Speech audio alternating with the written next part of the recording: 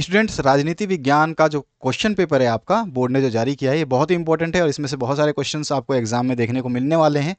तो यहाँ पर जो है, मैंने बहुत सारे क्वेश्चंस आपको पहले दो पार्ट में सॉल्व करवाए हैं। पार्ट वन में जो है आपके स्टार्टिंग के पाँच क्वेश्चन जिससे आप आसानी से तीस अंक हासिल कर सकते थे, वो मैंने आपको सारे करवा दिए हैं। देख सकते हैं, ये सारे प्रश्न मैंने आपको करवा दिए थे। ये सारे आंसर्स मैंने आपको बता दिए थे।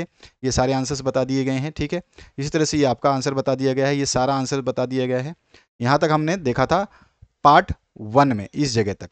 फिर पार्ट टू में हमने क्वेश्चन नंबर सिक्स से स्टार्ट किया था तो पार्ट टू भी अवेलेबल है। प्लेलिस्ट देख लेना प्लेलिस्ट में आपको सब कुछ मिल जाएगा। प्लेलिस्ट डिस्क्रिप्शन बॉक्स में अवेलेबल है। ठीक है पार्ट टू में हमने बर्लिन की दीवार क्या है सोवियत संघ के इतिहास की सबसे बड़ी गैराज सेल क्या थी, ये सारे क्वेश्चंस मैंने यहाँ पे आपको करवा दिए थे।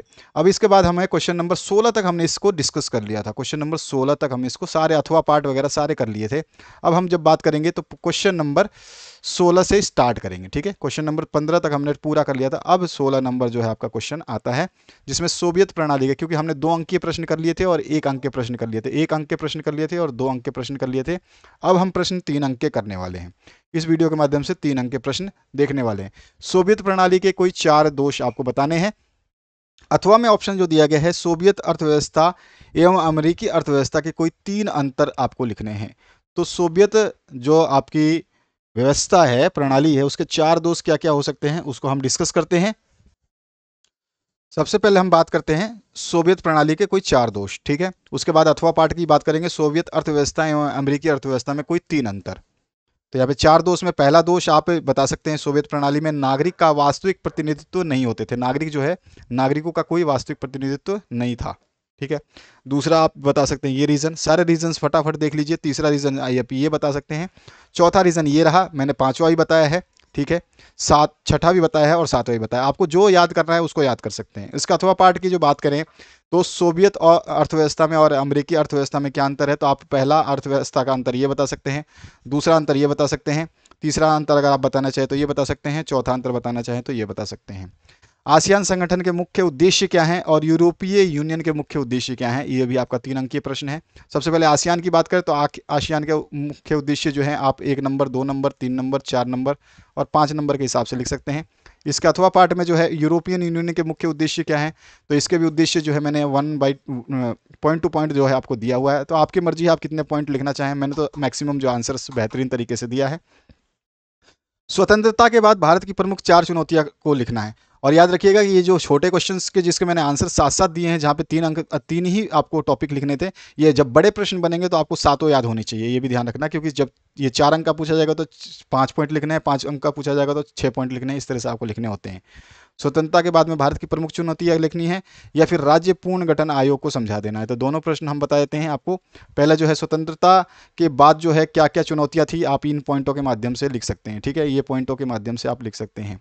ये रहा आपका सारे पॉइंट्स, इन पॉइंटों के माध्यम से लिख सकते हैं। और इसमें से आपको कुल तीन चार पॉइंट लिखने थे।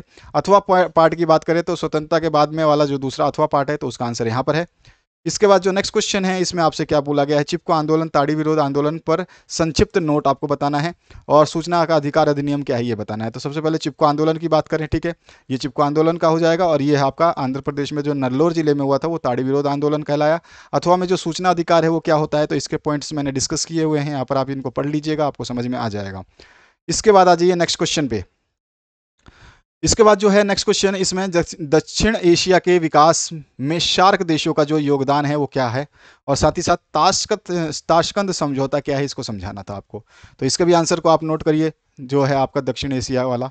तो ये पूरे सार्क देशों का क्या है? इसमें आपका सारा सहयोग मैंने बता दिया। हर चीज़ मैंने बहुत बेहतरीन शब्द लिखे हैं, आप इनको पढ़ोगे तो आपको मज़ा आ जाने वाला है।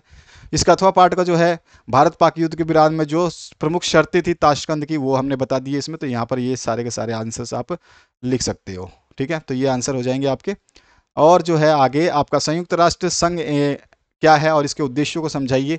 और और ऑप्शन में है अंतर्राष्ट्रीय न्यायालय के प्रमुख कार्यों का वर्णन कीजिए। याद रखिएगा, आपके सभी जो प्रश्न पूछे जाएँगे, वो सारे मॉडल सेट जितने भी मॉडल सेट हैं, सभी सब्जेक्ट के मॉडल सेट्स जो है हमने अवेलेबल करा दिए हैं और ये सारे मॉडल सेट्स जो है प्लेलिस्ट में अवेलेबल हैं। अगर आपको प्लेलिस्ट देखना आता है तो ये मॉडल सेट्स देख सकते हैं और सभी के आंसर्स आपको मिल जाएँगे। सभी सब्जेक्ट की बात कह रहा हूँ मैं, कोई भी सब्जेक्ट छोटा नहीं है आपका। तो यहाँ पर जो है आप सबसे पहले बता सकते हैं कि संयुक्त राष्ट्र संघ क्या है, उसके उद्देश्य क्या है और अंतर्राष्ट्रीय न्यायालय के प्रमुख कार्य क्या हैं। तो यहाँ पर चार अंकीय प्रश्न शुरू होते हैं, ठीक है? तो यहाँ पर आप बता सकते हैं इसके आंसर। तो सबसे पहले संयुक्त राष्ट्र संघ के बारे में बता देंगे। उसके जो उद्देश्य हैं, उनको हम इस तरह से लिख देंगे। उद्देश्यों को पढ़िए, समझिए, लिखिए, याद कीजिए। इसके अथवा पार्ट में अंतर्राष्ट्रीय न्यायालय के कौन कौन से कार्य हैं? तो यहाँ पर अंतर्राष्ट्रीय न्यायालय के कार्य लिख दिए हैं। आपके एग्ज़ाम पेपर में सेट में ज़रूर देखने को मिलेंगे। हर सेट में इनमें से क्वेश्चन आएगा। याद रखिएगा, ये बात भूलना नहीं है आपको। कभी ये सोच रहे हो कि इसमें से कुछ नहीं आएगा तो ये आपकी गलतफहमी है। उसको अपने मन से निकाल देना। भारत के विदेशी, विदेश नीति का आधार क्या है, ये आपको बताना है। और साथ में भारत की विदेश नीति, देश के समृद्धि का आधार है, ये कैसे बता सकते हैं? तो सबसे पहले आधार क्या है, वो बता देंगे। गुटनिरपेक्षता है, साम्राज्यवाद और उपनिवेशवाद है, संगठन में संयुक्त विश्वास है, और उसके बाद में रंगभेद नस्लीय है और पंचशील है। इसके बाद जो है आपका इसका अथवा पार्ट में जो विदेश नीति देश की समृद्धि का आधार क्यों है तो इसका रीज़न क्या है, उसके पॉइंट मैंने दिए हैं यहाँ पर। इन पॉइंटों को आप देखिए और इन पॉइंटों को नोट करिए और इन पॉइंटों को पढ़िए। आपको सब कुछ समझ में आ जाएगा। आपको दो मैंने सेट पार्ट वन डाला था। पार्ट वन आपको दिया था और उसके बाद मैंने दिया था आपको पार्ट टू ठीक है? लेकिन आप लोगों ने उनको देखा नहीं है। सबसे बड़ी समस्या है कि आप जब देखोगे तभी सॉल्यूशंस बनाए जाएँगे ना। तो आप जितने जल्दी जल्दी देखते हैं मैक्सिमम शेयर करते हैं, उतनी जल्दी आपको सॉल्यूशंस मिलेंगे। सिंपल सी बात है। ऐसा तो कोई चैनल है ही नहीं पूरे यूट्यूब पर, मैं बता दूँ आपको पूरे एमपी बोर्ड का। कोई भी एक ऐसा चैनल नहीं है जो आपको कंप्लीट फुल सोल्यूशन देता हो। ठीक है? कोई भी ऐसा चैनल नहीं है। आपको बता दिया, ये बात मुझे पता है, आपको ही पता है। आप सर्च करके देख लेना। आपने तो ट्राई भी किया होगा, मिलेगा ही नहीं आपको। तो ये चीज़ थोड़ा सा सोचिए कि जब हम फुल सॉल्यूशन देते हैं तो इससे इंपॉर्टेंट क्या चीज़ होगी कि आप लोग जो है उसको मैक्सिमम शेयर करें ताकि हम नेक्स्ट सब्जेक्ट आपके लिए दे पाएँ। यहाँ पर जो है इसके और पार्ट को भी देखिए। अलगाववादी आंदोलन देश के विकास में बाधक हैं, इसको समझाना है आपको और राष्ट्रीय अखंडता विकास के लिए आवश्यक है, इसको भी आपको समझाना है। सबसे पहले अलगाववादी आंदोलन जो है उनकी बात कर लेते हैं क्योंकि अभी जो मैंने दो पार्ट आपको दिए थे, दो पार्ट फ़र्स्ट पार्ट और सेकंड पार्ट जो मैंने इसका पॉलिटिकल साइंस का आपको दिया था, उसको मैंने बहुत विस्तार से समझाया। अब इस, इतना समय नहीं है कि आपको इस तीसरे पार्ट को भी मैं बहुत विस्तार से समझाऊं, क्योंकि मुझे ये पता चल गया कि आपको विस्तार से समझने में कोई शौक नहीं है। तो थोड़ा सा शौक बढ़ाएँगे तो आपको अच्छा लगेगा और सारे सोल्यूशंस भी आपको मिलते रहेंगे बेहतरीन तरीके से। कई बच्चे हैं जो केवल आंसर्स चाहते हैं स्क्रीन शॉट लेके काम चला लेते हैं तो आप उस तरह से भी कर सकते हैं। यहाँ पर जो है आपका पहले जो अलगाववादी आंदोलन है, वो विकास में कैसे बाधक हैं ये बताना है और दूसरे में आपको आवश्यक क्यों है अखंडता? राष्ट्रीय अखंडता के लिए विकास। तो ये आपको बताना है।